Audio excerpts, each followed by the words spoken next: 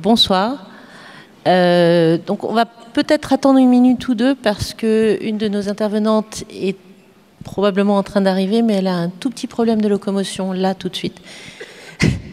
donc euh, en attendant, euh, eh ben, je vais commencer par présenter la table ronde et les invités qui sont déjà présents. donc bah, la table ronde de Projet Colossus, donc le la question que nous allons nous poser ce soir, c'est euh, finalement qu'est-ce que c'est que les IA pour de vrai, les intelligences artificielles? Et pour en parler avec nous, nous avons euh, à ma gauche Raphaël Granier de Cassagnac, euh, qui est physicien des particules, si j'ai bien compris, qui a créé une chaire sciences et jeux vidéo, ce qui est un titre particulièrement alléchant à l'école polytechnique et qui euh, est euh, aussi écrivain de science-fiction, auteur de nombreuses nouvelles, ainsi que de trois romans, Eternity Incorporated, Thinking Eternity et Resilient Thinking, tous les trois dans le même univers et dans lesquels les concepts de conscience artificielle et d'intelligence artificielle sont notamment particulièrement développés. En bout de table, nous avons Chen Kifan, J'espère que je le prononce bien. Euh, euh, qui est écrivain de science-fiction euh, chinois, auteur de nombreuses nouvelles. À mon avis, on ne doit pas en trouver beaucoup en français. Il y en a quelques-unes. Alors, dans, peut-être dans IA 2042, dont on va parler peut-être un peu tout à l'heure. Et puis, il y en a, mais un peu dispersées dans différents endroits. Mais euh, on pourra donner une. Pour ceux que ça intéresse, n'hésitez pas à nous contacter. On vous donnera la bibliographie complète euh, de Chen Fan en français ou en anglais. D'accord. Euh, il y a plus facile à trouver donc un essai dont il est co-auteur qui s'appelle IA 2042 10 idées pour notre futur et un roman qui s'appelle L'île de Silicium traduit par Gwenaël ici présent qui va également faire la traduction pour Chen Fan et, euh, et qui développe plus partie. Et donc, dans IA 2042, il y a un certain nombre de scénarios plausibles d'usage des intelligences artificielles. Bravo Sylvie d'être arrivée. Tout va bien? Merci. Euh, on va enchaîner. Donc Sylvie Lenné. Euh, Sylvie Lenné est ingénieure INSA, professeure de sciences de l'information et de la communication et a travaillé pendant de nombreuses années sur euh, les questions de traitement automatique des langues par les machines. C'est ça? Euh, Sylvie est également autrice de science-fiction, entre autres, euh, plus spécialisée dans la forme courte, des romans courts et des nouvelles. J'ai fréquemment entendu Sylvie qualifiée de une des meilleures nouvellistes françaises. alors je dis ça, moi j'aime beaucoup, mais je ne suis pas forcément une référence. Euh, et donc, euh, voilà. Et donc, on va. voilà. Euh, donc, eh ben, on va pouvoir commencer. donc, quand on parle d'intelligence artificielle, souvent, en fait, ce qu'on imagine en science-fiction, en littérature, ça va être pratiquement des machines qui pensent, qui peuvent discuter, qui peuvent raisonner, qui sont limite capables de déprimer, on a euh, des machines qui ont le sens de l'humour ou qui créent des amitiés. Euh, et euh, évidemment, on a aussi toutes les machines qui s'apprêtent à prendre le pouvoir sur l'humanité. On a Skynet, on a HAL, on a tout un tas de machines comme ça. Et donc la première question, et j'aimerais qu'on commence par Sylvie sur, sur cette question-là, s'il te plaît, euh, c'est euh, qu'est-ce que euh, c'est finalement vraiment, comment est-ce qu'on pourrait définir ce qu'on appelle une intelligence artificielle, comment ça fonctionne et quels ont d'intelligents ou de moins intelligents. Alors, moi j'ai travaillé sur les ancêtres des intelligences artificielles comme on en parle maintenant. Sur, c'était les, les, ancêtres de ChatGPT, par exemple. On avait des outils qui mélangeait euh, des règles linguistiques, des règles statistiques. Mais globalement, il y a une différence énorme par rapport aux intelligences artificielles actuelles, c'est que nos outils actuels travaillent sur d'énormes masses de données, et font des traitements statistiques sur du big data, détectent des schémas récurrents et, euh, et de manière générale produisent des discours ou des formes textuelles qui, qui sont statistiquement fiables, c'est-à-dire dans lesquelles on a des éléments, des structures qu'on a trouvées de manière euh, systématique. Euh, moi, personnellement, mon rapport aux intelligences artificielles, il est un peu particulier parce que j'ai quand même bien suivi ce qui se passait une fois que je ne travaillais plus sur le sujet. Et j'ai une certitude absolue, c'est que les intelligences artificielles ne sont pas prêtes d'avoir une intention. Ce pas des méchantes créatures au sens où elles le feraient exprès. Et toute la mythologie qu'on a construite sur des machines qui souhaiteraient prendre le pouvoir, ben, je ne peux pas rentrer dedans parce que ça ne marche pas. Mais ça ne veut pas dire que je ne pense pas que les intelligences artificielles soient inoffensives. Je pense au contraire qu'elles peuvent être très destructrices de tout un tas d'éléments de, notre environnement. Euh, juste, moi, la première chose à laquelle je pense, c'est l'emploi. Et malheureusement, les emplois qui sont menacés actuellement, c'est les plus intéressants, c'est les plus artistiques, c'est les plus intellectuels, c'est les emplois j'ai une fille artiste, eh bien, elle avait déjà du mal à trouver un, job dans son domaine. Maintenant, je crois que c'est pratiquement exclu parce que les intelligences artificielles ne font sans doute pas des choses très intéressantes, mais elles le font à bas coût. Et, on est dans un système euh, libéral qui impose des logiques économiques assez écrasantes. Et à chaque fois que la production d'une intelligence artificielle coûtera moins cher qu'une production humaine, même de plus grande qualité, eh bien, je crains malheureusement qu'on ne choisisse la production de l'intelligence artificielle. Euh, on plombe un peu le truc. Non, tout va bien. On allait en parler. On allait en parler de toute façon. Euh, Raphaël tu veux commenter? Euh, Non, je, peux, peut-être apporter la partie optimisme, prendre une posture un peu plus optimiste. Moi, je suis comme toi assez persuadé qu'il y a toute une série d'emplois qui vont disparaître. C'est sûr. peut-être qu'il y aura moins de graphistes, ça c'est moins, d'artistes. mais je ne pense pas que ça fasse tout disparaître complètement. moi, je connais plusieurs artistes qui, vont vers l'intelligence artificielle.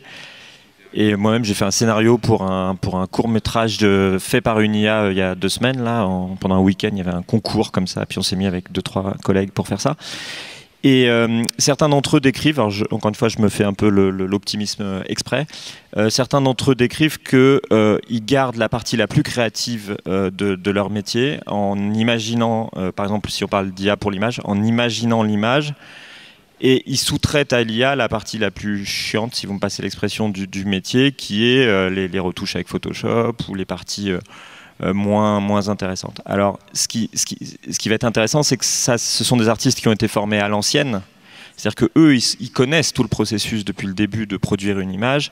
Ils sous-traitent une partie du processus à l'IA. Ça, c'est aujourd'hui. L'IA émerge. Il y a des gens qui peuvent l'utiliser comme ça et dire moi, je sous-traite, je garde la partie la plus sympa du job et je sous-traite à l'IA la partie la moins intéressante. Ce qui va être intéressant, c'est les générations d'après. C'est-à-dire que les gens qui vont être nés avec l'IA, est-ce qu'ils vont, euh, ils seront pas passés par vraiment euh, connaître tout le processus.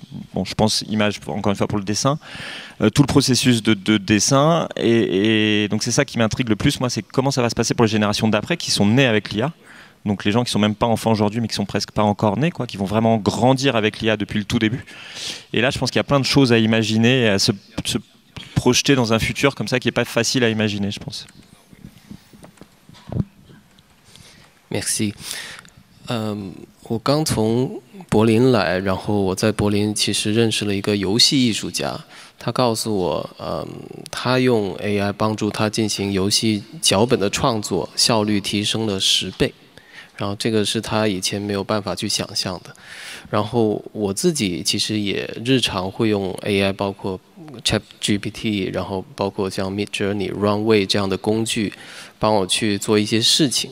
但是呃，就像哈菲尔说的，呃，不同的人有不同的使用它的方法。聪明的人用它可能会让自己的更有创意、更有想象力，但懒惰的人用它可能就只会 copy and paste。Merci. Je reviens juste de Berlin où j'étais pour, pour un festival également où j'ai rencontré un artiste qui travaille dans le domaine du jeu vidéo et qui lui aussi est un artiste à l'ancienne à l'origine et qui utilise maintenant l'IA dans son travail, notamment pour la création des décors par exemple, des choses qu'il n'imaginait pas faire avant.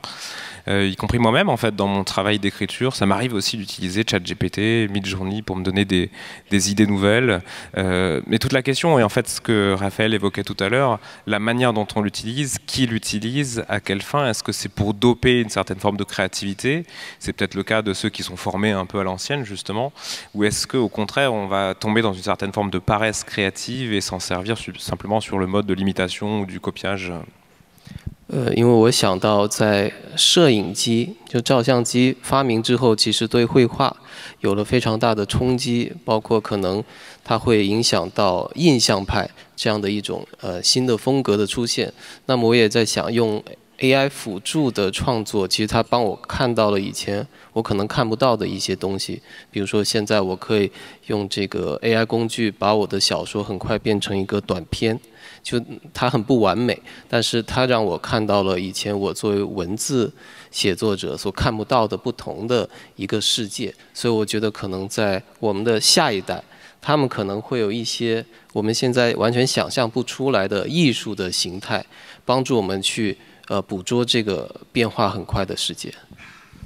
Donc, euh, moi, je pense aussi souvent, par exemple, à, l'impact qu'a pu avoir la photographie sur euh, la peinture ou sur l'illustration au moment où ça a commencé à émerger, euh, ne serait-ce que pour un courant ou l'influence que ça a pu avoir sur un courant comme l'impressionnisme ou la manière où on se projetait sur des images totalement différentes. Peut-être qu'il y a aussi cet impact ou ce choc-là qu'on peut ressentir avec l'intelligence artificielle.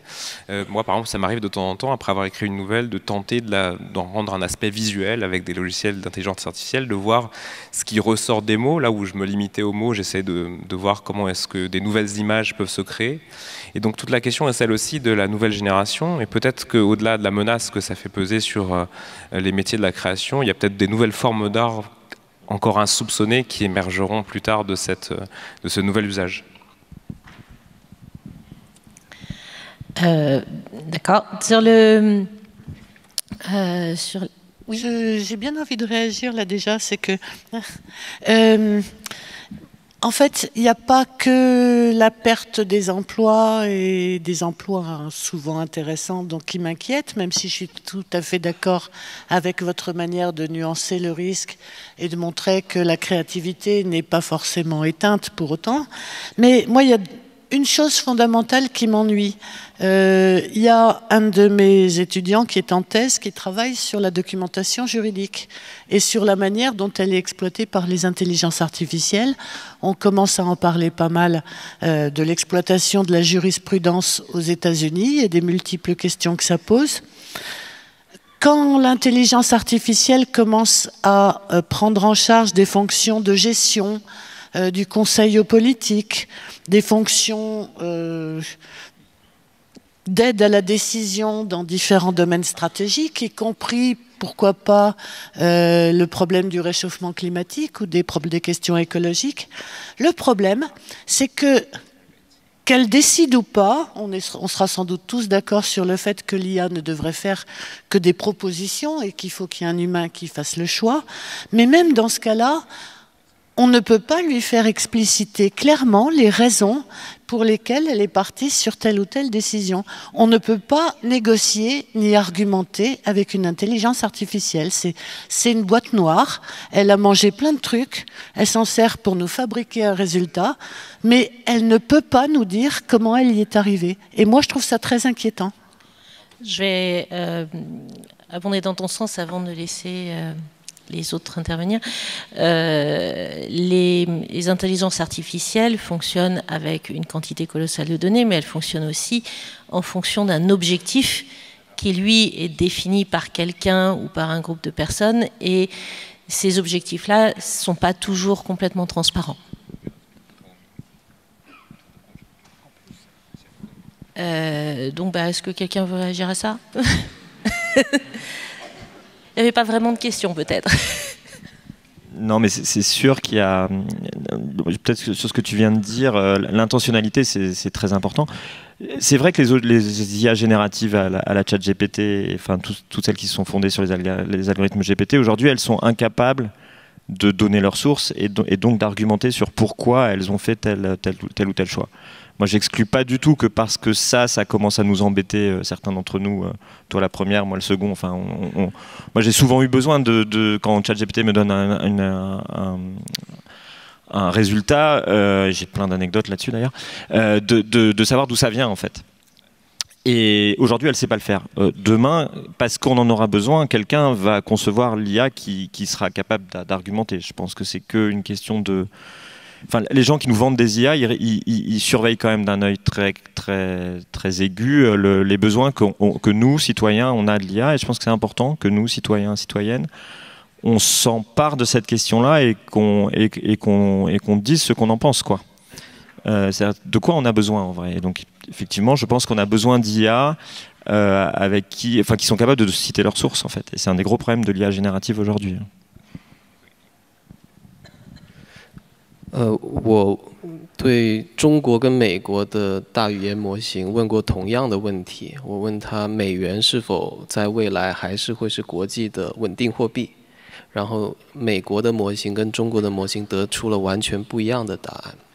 当然，中国的说不会，就会被人民币跟欧元所取代；但美国的就说会，我们还会是一样的。所以你能看到不同的数据训练出来，它的模型是有非常。不一样的立场、呃价值观，甚至意识形态，所以这个是个很大的问题。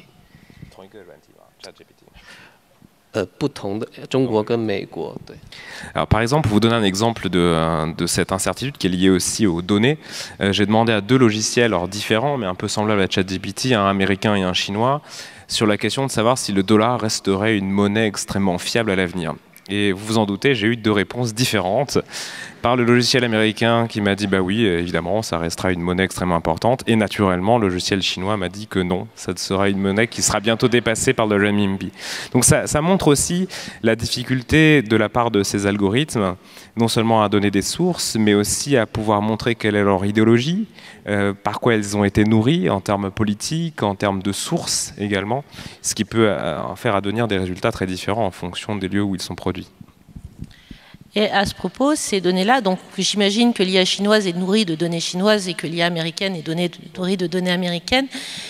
Euh, il y a aussi une question qui se pose, c'est euh, d'où viennent ces données et euh, qu'est-ce qu'on fait de la population mondiale qui ne fournit pas de données informatisées, qui ne sont jamais nourries aux IA, qui ne sont jamais fournies aux IA, parce que bah, la fracture numérique est quand même relativement colossale et les IA se nourrissent de l'information qui a été fournie au cours des dernières décennies. Donc, euh, qu'est-ce qu'on peut imaginer comme avenir finalement euh, par rapport à cette différence d'accès à la fois aux IA, mais aussi aux données qui sont euh, communiquées à ces IA Est-ce que je peux dire une horreur? Tu peux dire toutes les horreurs que tu veux. J'ai quand même un peu l'impression que les IA sont très nourries actuellement par des données produites par des hommes blancs et riches.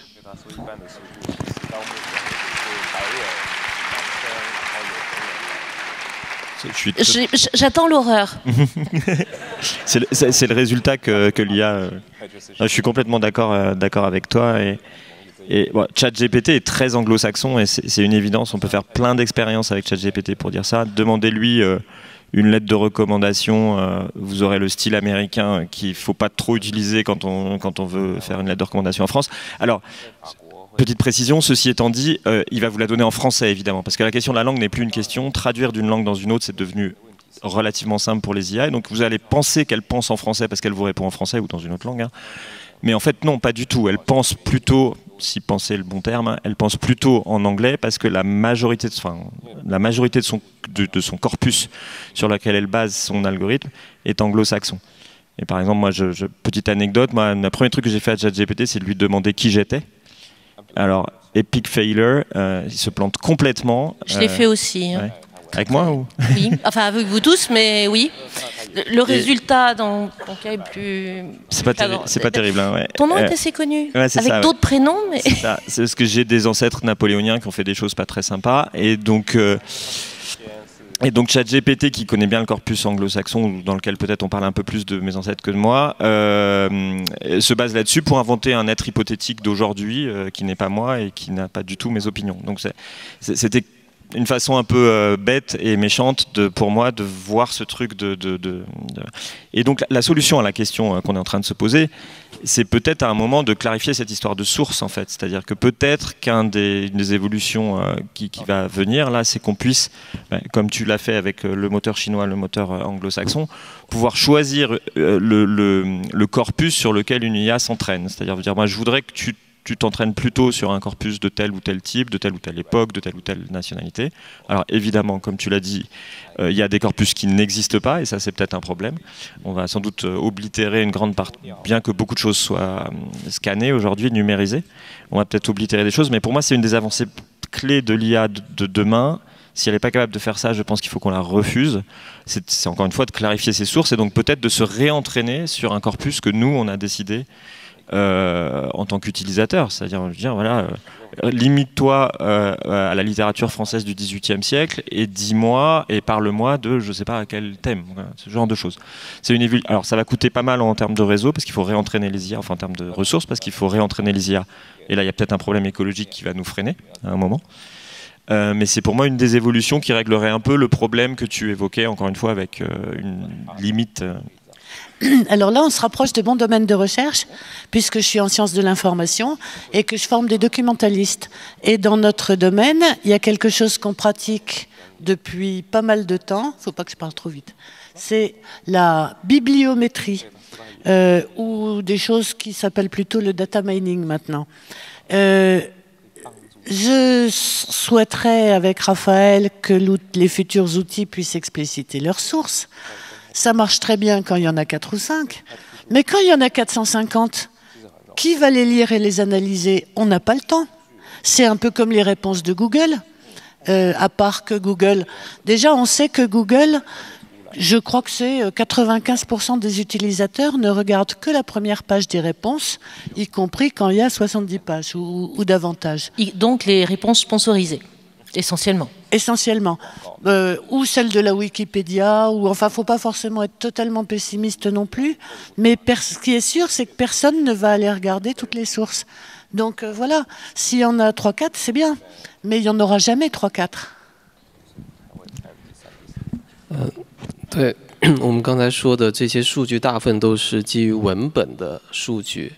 然后文本其实它有非常大的偏向性，比如说 ChatGPT 百分之九十二的文本是基于英文，其他的语言基本上只能占非常小的一部分。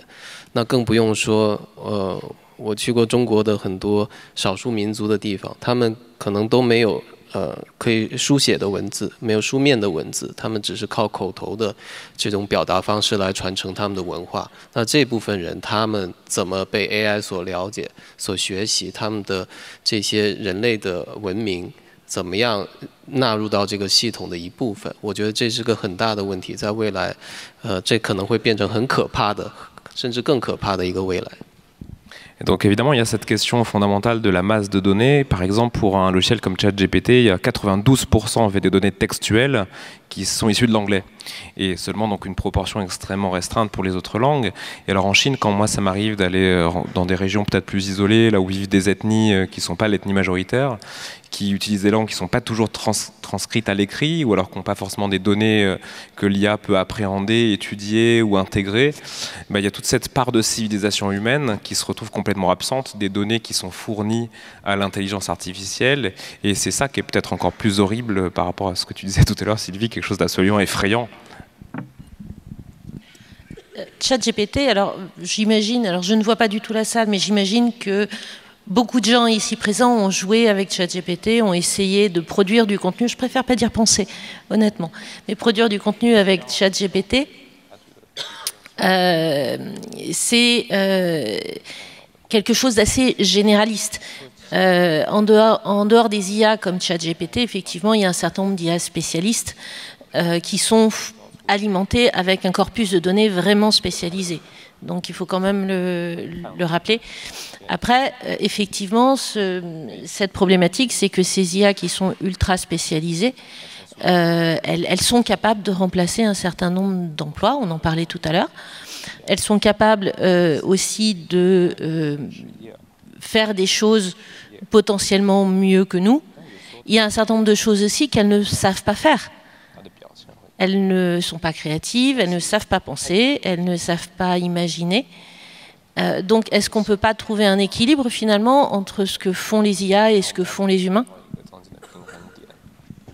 Alors, moi, je veux bien, mais à ce moment-là, partons tout de suite sur le revenu universel, parce que le taux de chômage va être élevé.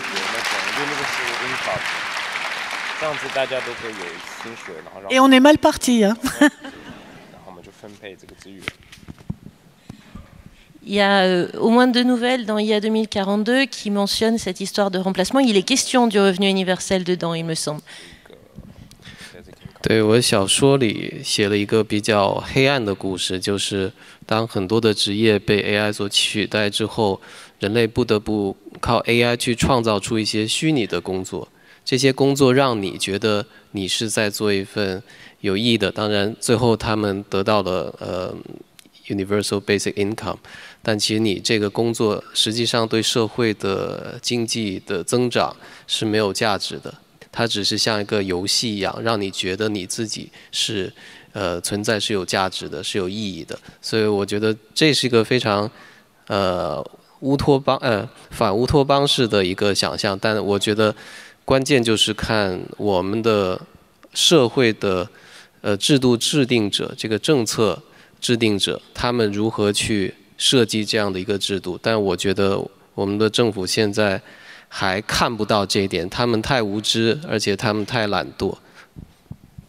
Alors dans, ce livre, dans IA 2042, il y a effectivement une nouvelle alors, qui est très sombre et qui s'imagine que l'intelligence artificielle a remplacé un très grand nombre de métiers et qu'on doit s'appuyer en fait sur l'intelligence artificielle qui crée des métiers, des simulations de métiers en fait, des métiers qu'on ne fait pas vraiment dans la vraie vie, mais qui visent à compléter un certain sens de l'existence, donner en fait un sens à l'existence des humains, alors qu'effectivement touche un revenu universel, mais qui en termes de productivité pour la croissance économique n'apporte absolument rien.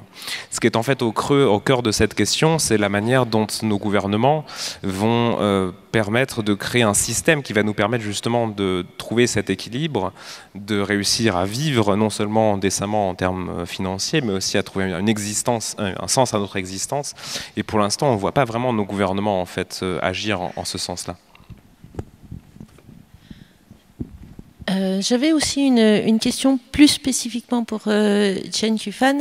On parle euh, finalement d'une de notre perception à nous des IA, euh, de, la, de ce qui nous fait peur euh, à nous, est-ce que ce sont les mêmes craintes et les mêmes envies qu'on va avoir en Chine ou ailleurs dans le monde 我觉得在中国可能不太一样，就中国，嗯，是一个从上到下的一个 AI 狂热的一个状态。 但我觉得这跟很多的历史是有原因的。就中国，呃，没有对呃科技去进行反思的这样的一个哲学的传统和文化的传统，所以包括我们进入真正的所谓的科技时代，呃，互联网时代，也只有短短的二十年时间，大部分人还在享受科技所带来的方便。所以他还没有去想到这个技术可能带来的负面的后果。所以很多人，我在中国做的很多的关于 AI 的活动，我被问到的最多的问题是我怎么样用 AI 更好的帮助我自己，在这个社会的竞争中获得一个优势地位，然后跑赢其他人。这就是中国的一个现状。Alors en Chine, la question se pose pour l'instant en des termes assez différents. Il y a une vision assez pyramidale et en fait euh, hiérarchisée de l'intelligence artificielle pour des raisons qui sont aussi des raisons historiques. En fait, la Chine est entrée dans le monde ou dans l'ère technologique ou dans l'ère de l'Internet depuis 20 ans seulement. Et donc pour l'instant, il y a encore assez peu de réflexion euh, d'ordre éthique en fait sur l'usage de la technologie ou de l'intelligence artificielle. Et on pense davantage à ce qui pourrait être convenient, ce qui pourrait être pratique, ce qui pourrait nous aider dans la vie. Donc moi j'ai participé à plusieurs manifestations, rencontres autour de l'IA en Chine. Et l'une des questions qu'on me pose le plus souvent, c'est comment est-ce que l'intelligence artificielle va m'aider dans la vie de tous les jours?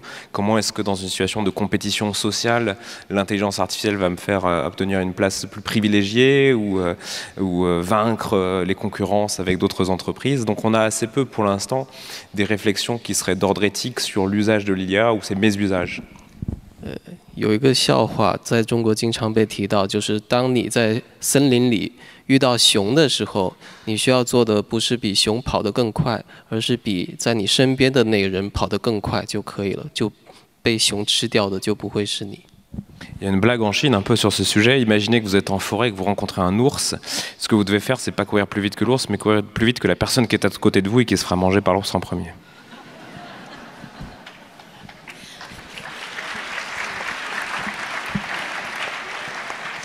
Je crois qu'on a la même avec un lion.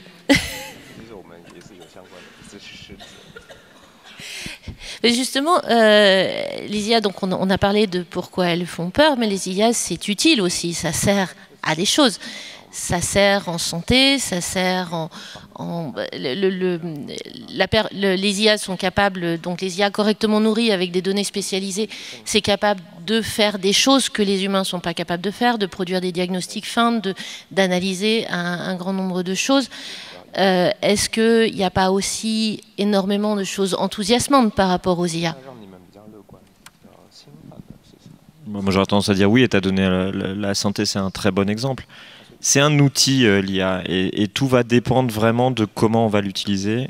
Et, euh, effectivement, il y a, tu parlais du réchauffement climatique tout à l'heure, c'est peut-être aussi une, bonne situation. C'est toi? Ah. Autant pour moi. Euh, c'est peut-être aussi une, bonne situation. C'est un problème extrêmement complexe que je pense que personne n'est capable d'intégrer dans sa très grande complexité. Et donc peut-être que voilà, entraîner euh, des IA euh, au niveau local, au niveau global, à réfléchir à quelle est la meilleure solution pour euh, pour, euh, pour, euh, enfin, pour améliorer un peu ce problème-là, c'est peut-être une bonne chose. Alors, il y a peut-être un petit problème, c'est que peut-être la, bonne solution pour faire ça, c'est d'éliminer les humains. Et donc, il faut peut-être se faire, faire attention le jour où on demande à une IA de régler le problème climatique. C'est un des problèmes de, des IA de science-fiction, ça, c'est qu'elles prennent leurs objectifs au pied de la lettre. Mais sans aller jusqu'à la science-fiction, la grande question, c'est quand même qui seront les commanditaires des analyses et qui aura les moyens de payer des analyses euh, qui vont probablement euh, avoir un prix important, un prix élevé. Et malheureusement, euh, ben, j'ai un peu peur qu'on est déjà dans un système capitaliste où, où l'argent commence à prendre le pas sur le politique de plus en plus j'ai peur que ça ne fasse qu'accentuer les choses. Je ne veux pas dire que des choses affreuses ici, mais c'est quand même...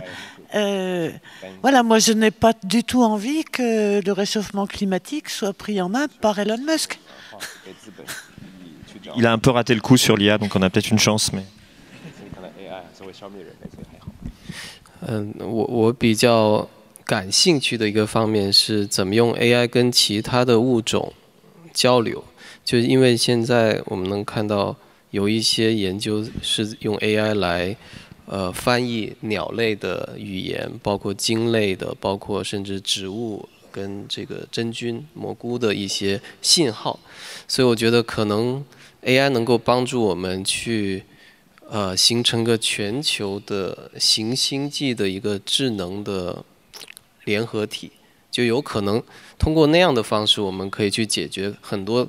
单独依靠人类智慧所解决不了的问题，但这个是更 科幻的一个未来。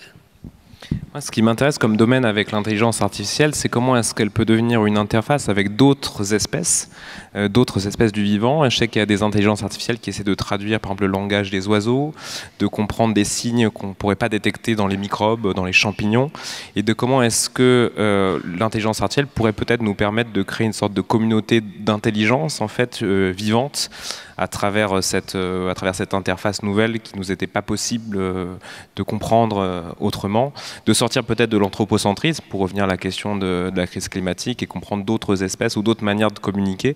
Alors certes, ça sonne un peu plus euh, science-fictif que, la question de la médecine. C'est pas complètement science-fictif. Il y a, j'avais lu ça il y a quelques temps, un projet qui s'appelle le projet CETA, CETA, euh, dont l'objectif c'est de nourrir euh, une intelligence artificielle avec les, enregistrements de champs de baleines et toutes les, informations d'environnement et de dans quelles circonstances ces captations ont été faites pour essayer de comprendre le langage des baleines.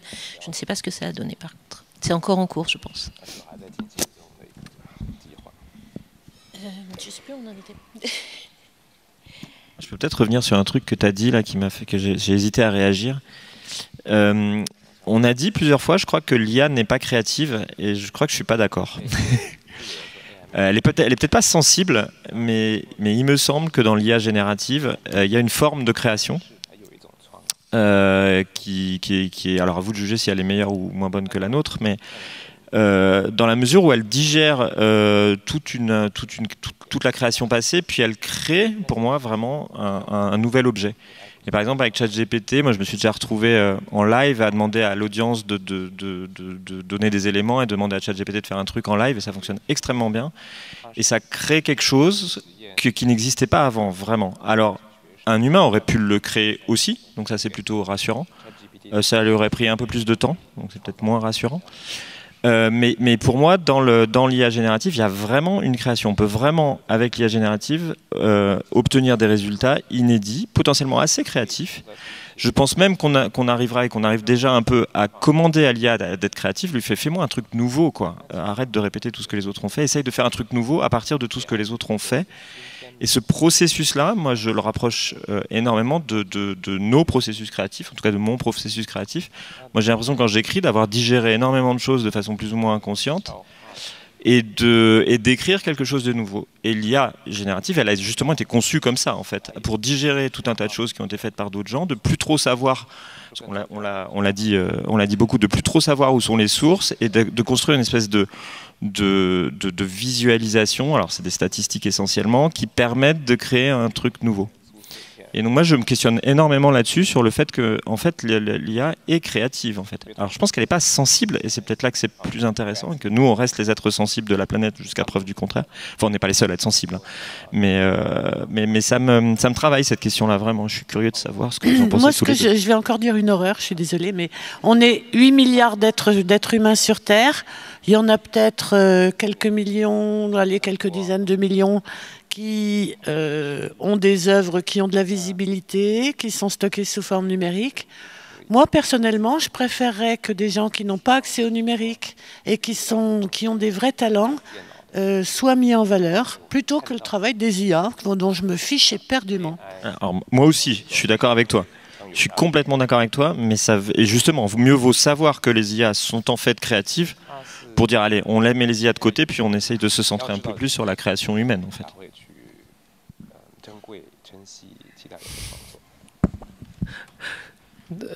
因为作为一个作家，有时候我也不知道我的创意从哪里来的，所以有时候我在想，我是不是也是一个像 ChatGPT 一样没有什么区别的，只不过我的界面是人类，我吸收的数据是更多样的、更不同的模态。然后我觉得说，其实，在我们使用 AI 的时候，它也在改变我们去思考、去创造的一个过程。就就有点像我们从用纸跟笔的时代，进入到用电脑和键盘的时代去写作一样。同样的，你也在被变化，所以我觉得这是一个人跟机器共生的一个一个过程。就我们没有办法抗拒它，我们已经在这个过程里面去了。只是最后我们是否能接受这样的一种命运，就是你可能不知道我跟机器。的界限在哪里？你可能我们传统意义上一个人类的定义已经被改变了。Alors peut-être effectivement qu'on peut se poser la question en tant qu'écrivain de savoir d'où vient notre créativité. Peut-être qu'on est simplement d'autres formes de chat GPT mais avec une interface euh, humaine. Euh, toute la question effectivement de, de chat GPT ou de ce type de logiciel, c'est que ça va aussi changer notre processus de digestion, d'ingestion de toutes les informations qui ont été les nôtres. Un peu comme on est passé d'un point de vue de l'outil du stylo à l'ordinateur qui a aussi changé notre manière de créer, notre manière d'envisager euh, la création peut-être que ce qui va arriver, puisqu'on en est déjà là, en fait, il y a déjà des interactions homme-machine, elles existent déjà, il y a déjà cette coexistence euh, qui est présente. Et ce qui est intéressant, c'est de voir dans quelle mesure est-ce que cette coexistence avec la machine va nous faire changer, jusqu'à quel point, jusqu'à quel point elle va brouiller la frontière entre ce qui relève de l'organique ou ce qui relève du mécanique. Et euh, c'est ça le défi. Donc on peut imaginer un avenir, par exemple, où on aurait toute une frange de la population très interfacée avec les machines, très, euh, en, relation avec les ordinateurs, les IA et tout ça, et toute une autre frange de la population qui n'a pas d'ordinateur, qui euh, fonctionne euh, avec deux siècles de retard et, qui finalement est complètement séparée. Et alors là, la question c'est, vous préférez vivre de quel côté? La, question, c'est qui est le plus heureux là-dedans? Moi, dans le, moi, allez, je me lance euh, dans le deuxième, dans le, côté arriéré, ouais. Es-tu crédible en disant ça? Mais en fait, en fait, non. Enfin, mais parce que la question qui est derrière, la, crédibilité, elle, elle, est dans quelle va être la relation entre les deux mondes, en fait. C'est-à-dire que si, si euh, les riches euh, pleins d'IA n'embêtent pas les pauvres euh, arriérés, on sera peut-être plus heureux, plus heureux en étant chez les pauvres arriérés que chez les riches. S'il y a des relations d'interdépendance entre les deux, là, effectivement, je pense que je vais peut-être essayer de me faufiler de l'autre côté. Euh, parce que les, parce que au-delà de juste avoir des ordinateurs, tout, tout ce qui est ressources, qualité de vie, euh, je, parie que ces gens-là, ils habiteront dans les endroits les plus sympas euh, météorologiquement de la planète et, pas et pas les autres, etc., etc. Mais dans l'absolu, je pense que je préfère effectivement le, le premier dans, dans, la relation concrète de ton univers de, de fiction. Eh ben, peut-être que ça... Alors, je me permets de signaler que j'avais pas posé la question en termes de riches et pauvres, mais en termes de connectés et pas connectés. Oui, mais ça risque d'être lié. Mais c'est ça, c'est-à-dire qu'entre connecté et pas connecté, euh, la question c'est tout ce qu'il y a derrière en fait, c'est que tout est tellement interdépendant euh, qu'en fait ça a des conséquences sur, euh, sur tous les aspects de la société, en particulier sur le politique aussi. Donc. Je ne suis pas sûr que la distinction connecté-non connecté soit suffisante parce qu'il y a énormément de gens qui ont des smartphones mais qui ne sont pas producteurs d'informations. Euh, peut consommer de l'information, euh, avoir accès aux textes, aux films, aux images. Euh, simplement en tant que consommateur. Quand on a créé le World Wide Web, il y avait une très belle idée dans le Web 2.0 qui était que tout le monde avait la même facilité à être créatif et consommateur, que les producteurs et les consommateurs, c'était les mêmes gens. Eh ben, je pense que cet idéal, on s'en est un petit peu éloigné et qu'il y a effectivement de plus en plus de gens qui ont des smartphones, mais ça ne veut pas dire qu'ils mettront des images ou des textes sur le web. 呃，我曾经在 Google 工作过，他们的有一句格言叫 “Don't be evil”。我曾经在百度工作过，他们有一句话说我们要让全世界的用户都平等的获取信息，但他们都在撒谎。 alors moi, j'ai travaillé dans le passé pour Google, où l'objectif c'était la démocratisation de l'Internet pour tous. Et puis j'ai travaillé chez Baidu, qui est un moteur de recherche le plus important en Chine, et qui avait pour objectif de permettre l'accès à Internet pour tous. Mais ce sont tous les deux des gros menteurs.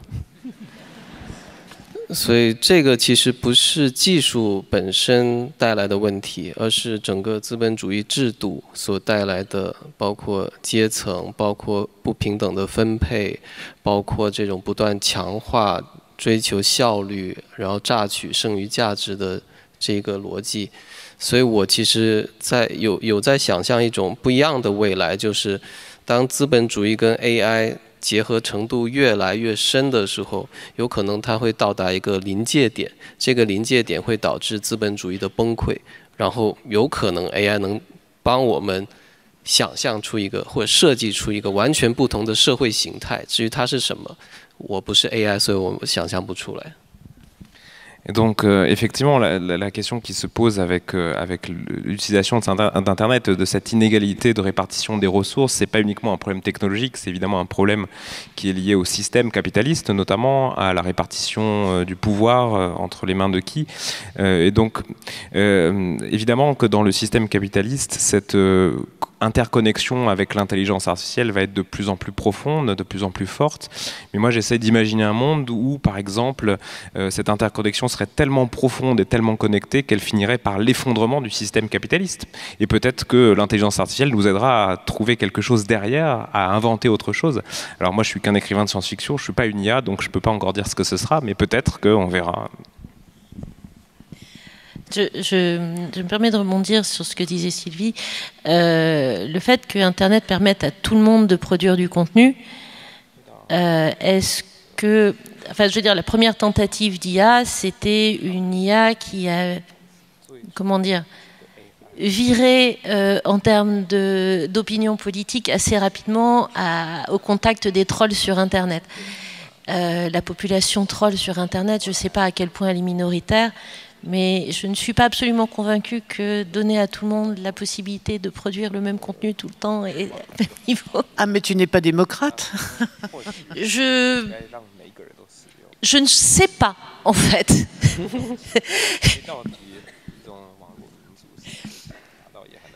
C'est pas simple. Hein 呃，我跟那个加速主义的 Nick Land 就是一个哲学家，他英国人，然后他，但是他生活在上海。我们讨论过一个可能的版本的未来，呃，有点黑暗，就每个人其实生活在自己的一个 bubble 里，这个 bubble 可能是由 AI 来创造的，它可能是虚拟的，它也可能是真实的，但你得到的一切都是为你量身定造的。就是让你觉得我生活在一个特别美好的 utopia 里，但其实你看到的，你跟别人交往的这个界面，其实都是由 AI 来 filter 跟篡改的，所以你看到永远是别人最美好的一面。就这样的一个未来，到底是 utopian 还是 dystopian？我觉得这个会很有意思。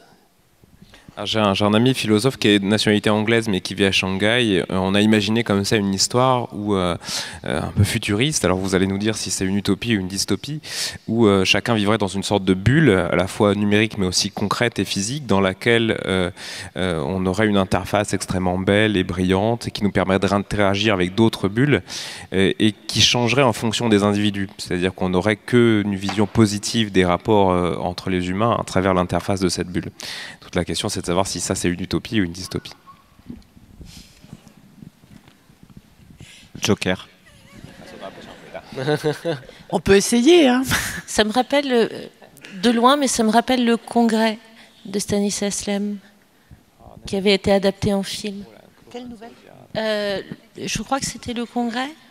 Ça avait été adapté en film avec Robin Le congrès de futurologie? Peut-être, oui.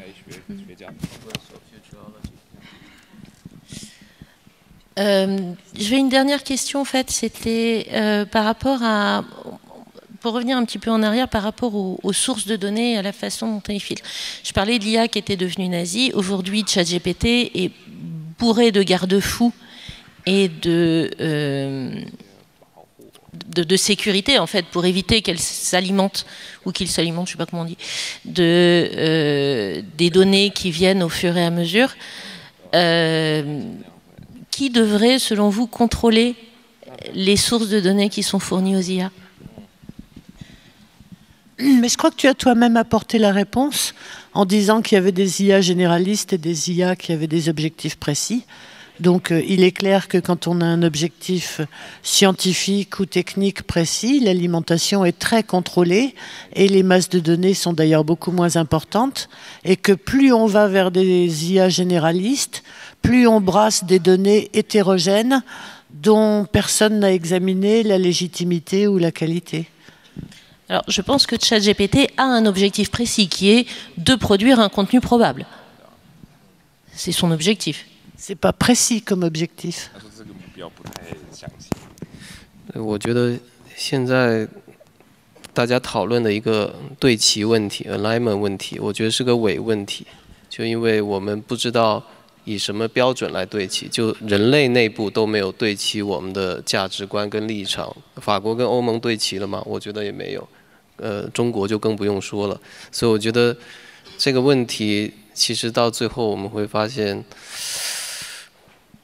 随着数据量的不断增加，它可能就是变成一个无效的问题。而且现在已经呃，发现就是机器可能会，呃，在某一个时间点吧，它我们没有办法依靠人类去制造足够的数据来训练它，这时候怎么办？用 AI 来制造合成的 synthetic data 来喂，呃，机器模型本身，所以它变成了自己生产数据喂养给自己的一个一个怪圈，所以那样的未来会发生什么样的？呃，情况我觉得会非常的可怕。Bah, toute la question de la, masse de données à contrôler et des objectifs. Euh, par exemple, on, peut imaginer que dans les données qui sont actuellement produites, euh, enfin qui, nourrissent actuellement l'intelligence artificielle, il y a effectivement plein de choses qui viennent de produits humains, mais est-ce qu'on n'arrivera pas un jour avec cette difficulté à voir l'IA euh, en fait arriver à un point de pas assez de ressources ou de ressources qui sont pas suffisantes pour pouvoir la nourrir suffisamment? Et la question qui va se poser, c'est comment est-ce qu'on va nourrir l'IA est-ce que ça va être l'IA qui va auto-répliquer elle-même euh, des données qu'elle aura elle-même produites dans le passé? Et donc ça pose aussi la question de ce qu'on appelle enlightenment, donc euh, l'idée selon laquelle on a une forme de progrès ou d'éveil. Euh, et je trouve que c'est une fausse question en fait, la question de l'éveil de l'IA, puisque ça dépend le standard qui est pour l'instant un standard humain, mais y compris même dans les communautés humaines, la manière de, par exemple, la conception du progrès peut être très différente euh, en France, euh, dans l'Union européenne, en Chine. Est-ce que la France et l'Union européenne progressent? C'est quand même difficile à dire. En Chine, n'en parlons pas. Et donc, de savoir dans quelle mesure est-ce que l'IVA va évoluer vers une forme d'éveil ou une forme d'émancipation, ça reste quelque chose d'extrêmement subjectif et historicisé. Peut-être vite fait pour répondre à ta question. Euh, moi, je pense que je ne sais pas qui doit contrôler l'IA. Ce que je pense qui est très important, c'est que ce soit transparent. C'est-à-dire qu'on sache, quand on utilise une IA, euh, comment les données ont été choisies, comment elles ont été filtrées, et, et in fine, qui contrôle, qui est au contrôle derrière. On l'a vu avec d'autres euh, technologies, les médias sociaux en particulier. On peut vraiment manipuler l'opinion publique, faire faire basculer des élections d'un côté ou de l'autre en manipulant ce genre d'outils. Et donc c'est pour moi crucial d'avoir une transparence absolue sur euh, comment ça marche. Et donc c'est important qu'on soit là tous ensemble pour en parler et qu'on en parle de plus en plus et que tous les citoyens et les citoyennes soient très conscients de comment ça marche et de comment c'est contrôlé. Merci. Euh, donc on vient de nous dire qu'il ne nous reste pas longtemps, donc on va euh, ouvrir aux questions du public. Alors, Ce serait bien que les lumières soient allumées. Ouais, je pense que ça va se faire. Et je pense qu'il ah, va y avoir des micros qui circulent. Ah, mais vous étiez là depuis le début, en fait. Alors, il y a des micros qui circulent, je pense. Ah, vous entendez Je sais pas. Ah oui. Euh, voilà, je suis ici. Euh, bonjour, merci pour ce débat fascinant. Je m'excuse d'avance si ma question est naïve, parce que c'est un sujet que je connais très mal, mais euh, j'ai l'impression, d'après ce que vous avez dit, que les IA, pour l'instant, sont des structures, des entités euh, isolées, indépendantes, qui a très peu d'interconnexion. Donc euh, ma question, c'est est-ce qu'on peut imaginer que dans le futur, il y ait une coopération qui se développe entre les intelligences artificielles, voire une, je sais pas, un niveau de structure, une socialisation, une société? Et si c'est le cas, est-ce qu'on doit s'en inquiéter? Plus, plus, général, oui, il faut s'en inquiéter. Plus généralement, là, on, parle d'IA qu'on maîtrise, euh, donc qu'on contrôle assez bien, euh, qu'on peut même arrêter si on veut. Euh, ce qui est très très important dans toutes les questions d'IA, c'est la question des moyens qu'on leur donne, en fait. Hein. c'est par exemple les IA qui pilotent des voitures autonomes aujourd'hui, elles ont un moyen de tuer quelqu'un. Une voiture, c'est un moyen létal. Ça pose toute une question, toute une question de droit et de choses comme ça qui, qui émergent. Donc pareil pour la coopération entre IA. Si on commence à, laisser des IA coopérer entre elles, il faut bien réfléchir. C'est un moyen qu'on leur donne, hein, de moyen de coopérer avec euh, ChatGPT qui coopère avec je ne sais pas qui. Et donc il faut faire très attention en amont aux conséquences que ça peut avoir. Il faut être vigilant. Et elles coopèrent déjà pas mal. Hein. Il y a plein d'API qui permettent de connecter des IA les unes avec les autres. Euh, un utilisateur peut vraiment euh, mélanger des, IA. Oui. Oui. Bonjour, merci beaucoup pour euh, cette table ronde. Je suis ici, là, sur votre euh, droite. Voilà. Merci beaucoup pour euh, cette table ronde. J'ai une question qui me taraude. Elle est peut-être totalement, totalement idiote, mais pourtant je la pose. je reviens sur le processus créatif. Donc une certitude, c'est que l'IA produit et crée de l'information. Est-ce que c'est une information ancienne, nouvelle? Ça, c'est le débat reste ouvert. Mais en quoi cette information abondante produite par l'IA va modifier nos façons et de penser, et de produire, et de créer à nous humains?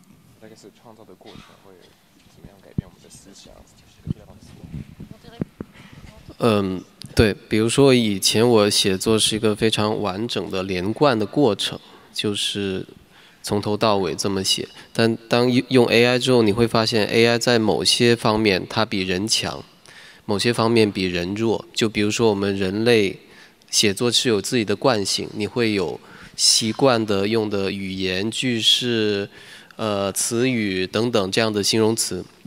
但 AI 可以跳出你的这个惯性，给你看到很多不同的可能性，就是这个会让我的写作变成一种类似于，呃，分层迭代的这种方式。你会把不同的，比如说头脑风暴的部分、结构的部分，然后比如说人物的部分，包括风格的部分，你可能会分出很多不同的模块和层级，然后把适合 AI 去帮助你。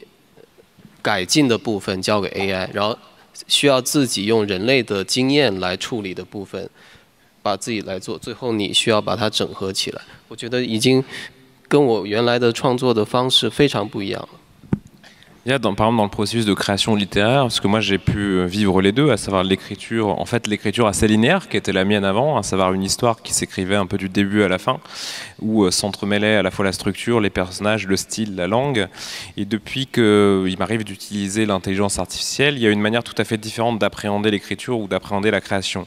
Là où il y avait quelque chose d'assez linéaire, avec notre habitude d'écrivain, notre manière de formuler des métaphores, notre manière d'utiliser la langue, euh, l'intelligence artificielle a des côtés ben, qui vont être plus forts que l'humain ou plus faibles que l'humain, mais qui vont euh, parfois euh, changer notre approche avec quelque chose de beaucoup plus compartimenté, avec quelque chose qui va relever du style, quelque chose qui va relever de la création des personnages, quelque chose qui va relever de la structure. Et donc euh, l'intérêt pour moi, ça peut être de voir comment l'IA peut améliorer certains aspects de mon travail, tout en conservant, et c'est le plus important, ce qui relève de l'expérience humaine et ce qui est finalement au cœur du processus créatif. Oui, bonjour. Une question autour de la science-fiction. Euh, depuis longtemps, une des solutions pour faire, face à l'intelligence artificielle a été de faire évoluer les humains euh, vers le transhumanisme, euh, dans cette concurrence vers les, pour concurrencer l'intelligence artificielle. Qu'est-ce que vous pensez de cette solution? Est-ce que ça reste encore de la science-fiction? Euh, très intéressante question. Mes trois romans sont un peu basés sur la confrontation entre le transhumanisme et l'intelligence artificielle, donc je pourrais parler deux heures de la question, ce qu'on n'a pas le temps de faire là maintenant. Euh, quelque part, on est augmenté hein, déjà. Euh, le fait qu'on ait, et en particulier moi je l'avais sur les genoux depuis le début, j'ai honte, mais le fait qu'on ait des choses comme ça à bout de main, en fait, on est augmenté. C'est pas intégré dans notre corps, mais on est déjà augmenté. Il y a plein de choses qui nous augmentent. Oui, le micro, tout à fait. Je suis augmenté parce que j'arrive à vous parler jusqu'au bout de la, parce que j'ai un micro. Et, donc, je pense qu'il y a une forme d'augmentation euh, qui va être liée à l'IA. Euh, c'est-à-dire qu'effectivement, les gens qui vont avoir recours à l'IA, euh, comme on a recours à un téléphone portable un peu tout le temps, euh, euh, moi, je les appellerais des humains augmentés, donc ça, va vers une espèce de transhumanité. Alors, c'est pas la transhumanité, soit le transfert dans le silicium, soit la vie éternelle ou des choses comme ça, qui sont des pans un peu euh, extrémistes, je dirais, de la, transhumanité. mais, mais, mais ça va un peu dans ce sens-là, quoi.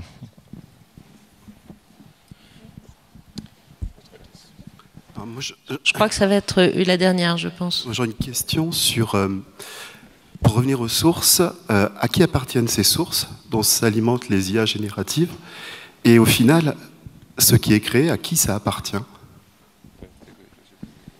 Alors, euh, tout dépend évidemment de la provenance, mais si par exemple on exploite les données qui sont sur des réseaux sociaux, euh, tout ce que vous mettez sur un réseau social est la propriété de ce réseau social, que ce soit des photos, des messages. Euh, donc, à qui appartient le résultat? Eh bien là, il y a un gros travail juridique à faire parce qu'il y a beaucoup de flou et il y a aussi des créateurs de contenu humains qui euh, sont tout à fait hostiles à l'idée qu'on exploite leur travail sans jamais euh, leur euh, attribuer le moindre, sans, mentionner finalement leur rapport. Donc on n'en est qu'au début hein, sur ces questions-là.